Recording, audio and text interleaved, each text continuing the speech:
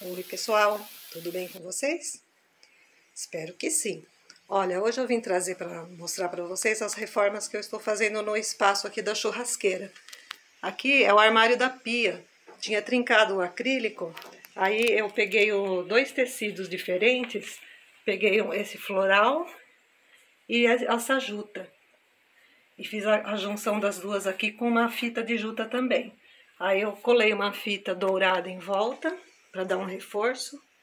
E tá aí, ó, já reformei faz mais de um ano e tá aguentando.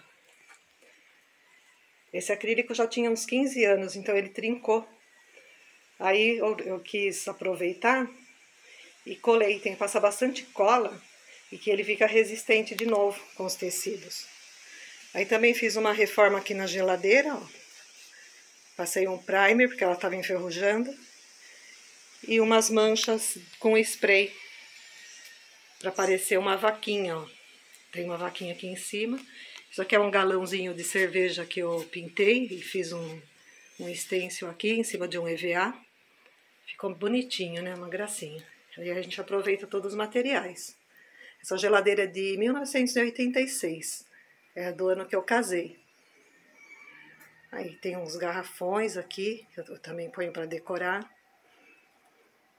Então, hoje é isso que eu queria trazer aqui para vocês, né? Essas reformas, que não é difícil, né?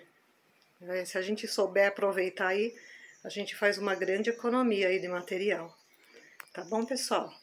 Então, hoje é isso que, que eu queria mostrar. Muito obrigada e até o próximo vídeo.